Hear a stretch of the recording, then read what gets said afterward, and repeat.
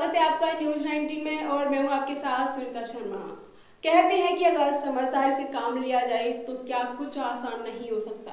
आपको एक इस चीज़ की एक मिसाल पेश करती हूँ। बताती हूँ आपको कि किस तरीके से नरसिंहगढ़ में एक सर्विल छात्रों ने एक शासकीय कस्तूरबा कॉलेज में एक वार्डन ने अपनी सूझबूझ चतुराई के साथ में डेढ़ लाख रुपए खर्च होने की बजाय मात्र सत्ताईस हज़ार में पूरा काम कर दिया।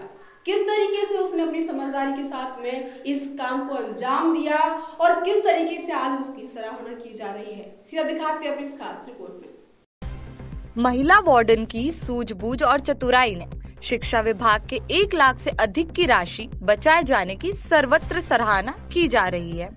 मामले के अनुसार शासकीय कस्तूरबा बालिका छात्रावास नरसिंहगढ़ में बारिश के बाद भवन दीवारों पर काई जमने से बदरंग हो गया था।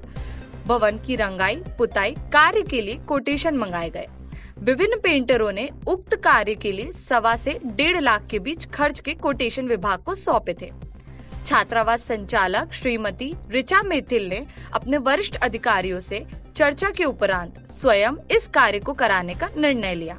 जिसमें लगभग उन्नीस हज़ार का ऑयल पेंट सहित सात हज़ार मजदूरी कुल सत्ताईस हज़ार रूपए में छात्रावास भवन की रंगाई पुताई करवाकर शासन के लाखों रुपए व्यर्थ होने से बचाए जी यहाँ पर कैसी व्यवस्था हॉस्टल में और कौन देखता है पूरी व्यवस्था यहाँ पर? यहाँ पर व्यवस्था पहले से बहुत अच्छी है और ये व्यवस्था न्यूज़ भी देखती है और अंकल और आंटी का व्यवहार भी बहुत अच्छा रहा। और पढ़ाई के बारे में भी अच्छी है। यहाँ पर क्या क्या सुविधा है और आपको?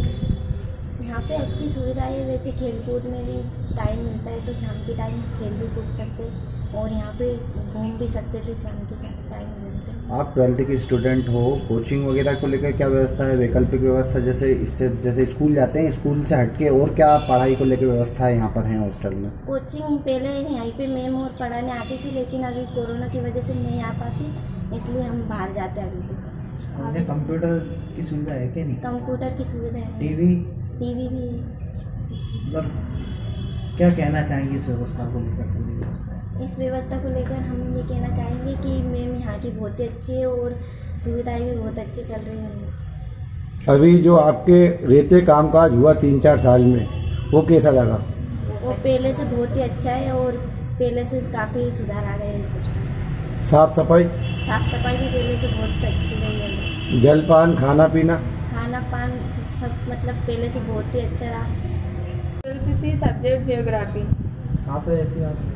हॉस्टल में। कौन सा हॉस्टल है? शासकीय बालिका छात्रावास नरसिंहगढ़ भोपाल रोड। कैसी व्यवस्था है यहाँ यहाँ की सबसे पहले तो जब हम स्कूल जाते हैं तो स्कूल की एंट्री टाइम और जो कोरोना की चेकिंग होती है वो करते हैं। जिसके बाद हम स्कूल से आते हैं तो वापस एंट्री होती है। आने के बाद हमारे जो सिग्नेचर यहाँ कर देते उन्हें करती तो लड़कियों को अंकल करवाते बुलाकर। जिसके बाद चाय की बोल देती आंटिया चाय पी लेते हैं। फिर मैं आ जाती सात बजे तो उनकी प्रेजेंट होती है और कुछ भी मतलब कोई बीमारी हो या कोई दवाई लेना हो समस्या तो वो मैम बोलती है उनके लिए। यहाँ पर काउंसलिंग को लेकर क्या है ये पुस्तकालय और में अलग अलग प्रकार की किताबें भी और किसी भी प्रकार की अगर बात करनी रहती है तो मैम समझा देती है उसके बारे में।